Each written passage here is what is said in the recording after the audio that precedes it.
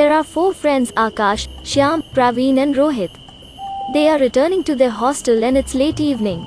It is completely dark around and they have just one lamp among themselves.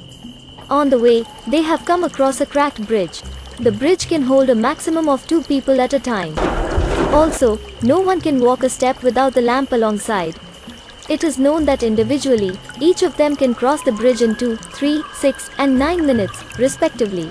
So, what is the minimum time in which all four can cross the bridge?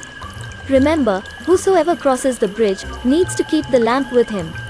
Also, more than two people cannot cross the bridge at a time. If you want, you can pause the video over here and try the puzzle by yourself.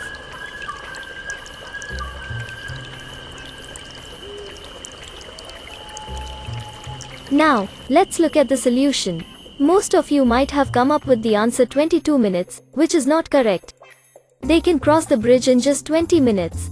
So, let's see the correct solution. First, Akash and Shyam will go together. This will take 3 minutes as the slowest between the two is Shyam, who takes 3 minutes time to cross the bridge.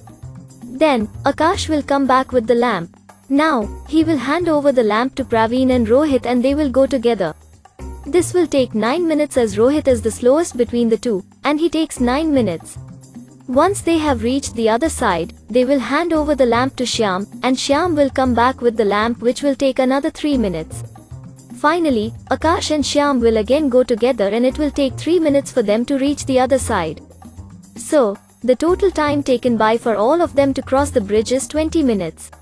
Hope you liked the puzzle. Subscribe to our channel to get updates about more such puzzles.